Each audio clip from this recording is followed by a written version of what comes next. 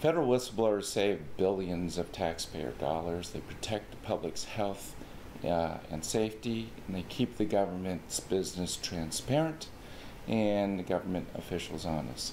In the next few minutes, I'd like to talk to you about uh, the role of the Office of Special Counsel in this very important program that we run to protect federal whistleblowers. Um, OSC plays a special role in encouraging federal employees to come forward with information that they may have uh, that might reveal waste, fraud, and abuse in the government. And OSC plays a special role in protecting those employees after they come forward. Uh, so as we go forward in this uh, video over the next uh, few minutes, I'm going to walk you through the process at OSC and explain uh, how the complaint process works and how we handle those complaints.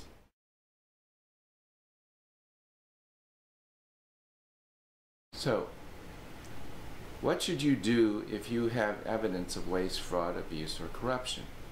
Well, there are many places a federal employee can bring that information, but the two that come to mind are the Office of Special Counsel and your own Inspector General.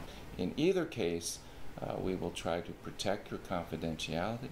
If you wish to remain anonymous, we will honor that wish to the extent the law allows.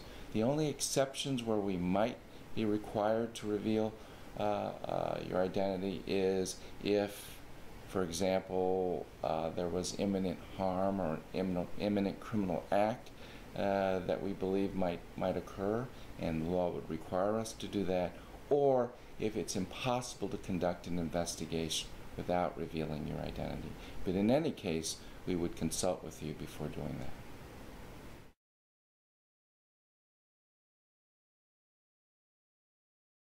So what happens if you bring your whistleblowing complaint to OSC? We have a special disclosure unit that handles these things, and what they do is they evaluate your complaint, determine whether or not it is substantially likely that the information you're bringing to us uh, really reveals or evidences a condition of waste, fraud, uh, or abuse.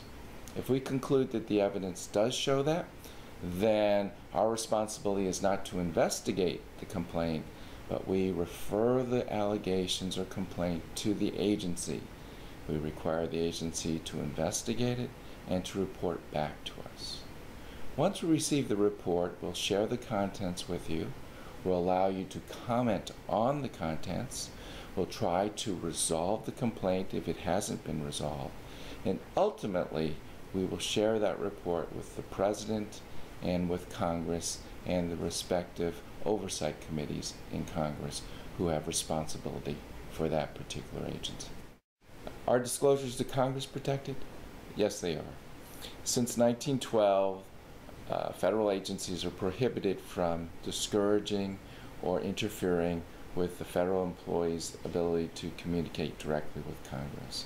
And if you believe that your agency has interfered or is trying to discourage you from exercising that right, then you may file an OSC complaint and we can look at it.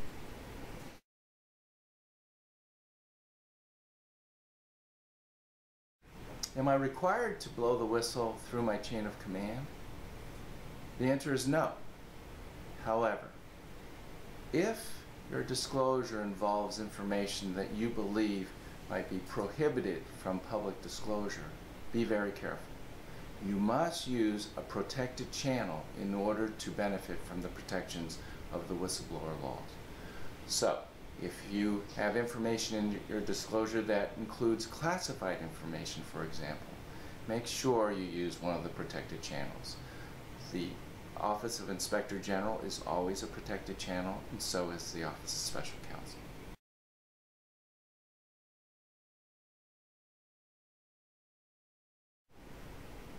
Now, now, OSC is not the only place where you can challenge an act of retaliation.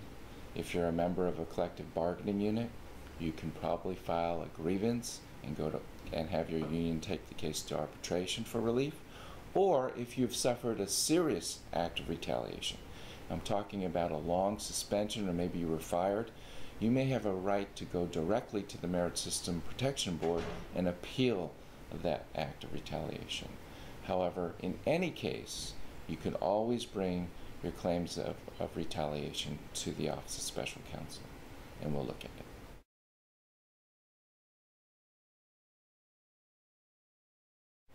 If you're entitled to relief from retaliation, what relief uh, could we get for you?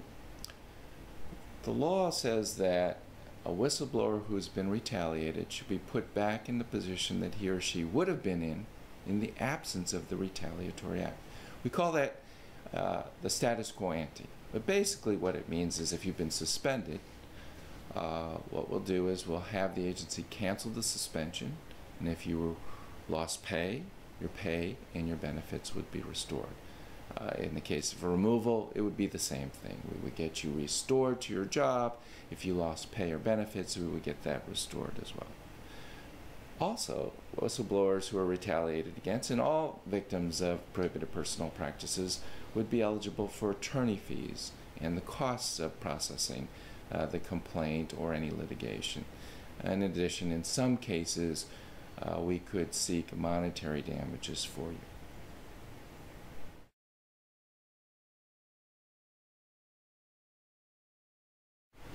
Finally, there's one additional remedy for whistleblowers.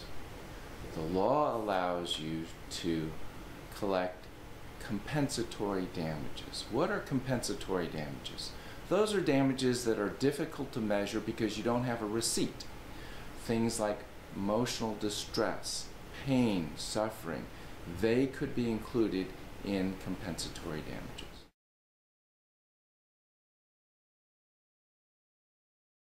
So what should you include in your complaint of whistleblower retaliation? Well, the first thing you should tell us is what your whistleblowing was. Not all whistleblowing may meet the legal definition of whistleblowing. Uh, you have to show that you disclose information that revealed perhaps a violation of law, rule, or regulation, perhaps gross mismanagement by your agency, or gross waste of funds, an abuse of authority, or something that created a public danger to health or safety. And also tell us to whom you made the disclosure. After you've summarized your whistleblowing disclosure, if you have information that shows that your agency knew about the disclosure, please provide that information too.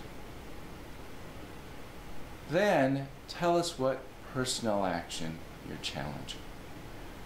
We have authority to look at a broad range of personnel actions.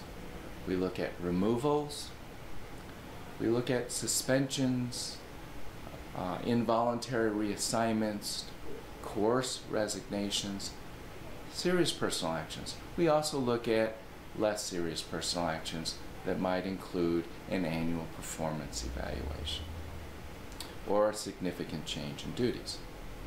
And then finally, if you have information or evidence that you believe shows that your disclosure was connected to the personnel action you're challenging, please include that.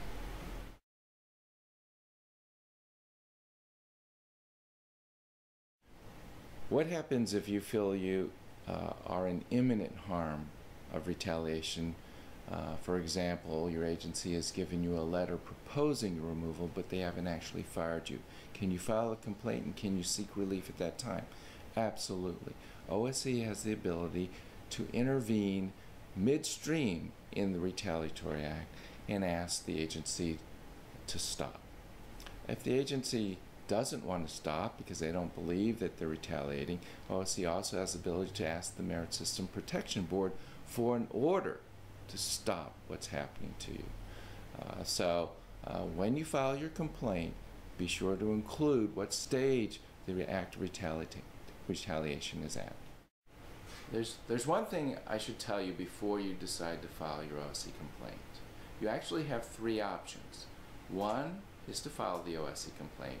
Two is perhaps to file an appeal with the Merit System Protection Board. And three, you might have the option of filing a grievance under your collective bargaining agreement. The law requires you to elect one of those remedies. And once you choose one, you are not going to be able to uh, exercise your rights under the other two. So before you pick one, try to think about which remedy you want to pursue.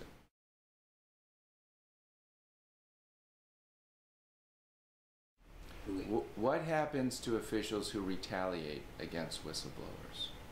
OSC has authority to seek disciplinary action against them. We can seek disciplinary action from their employers, or we can bring an action before the Merit System Protection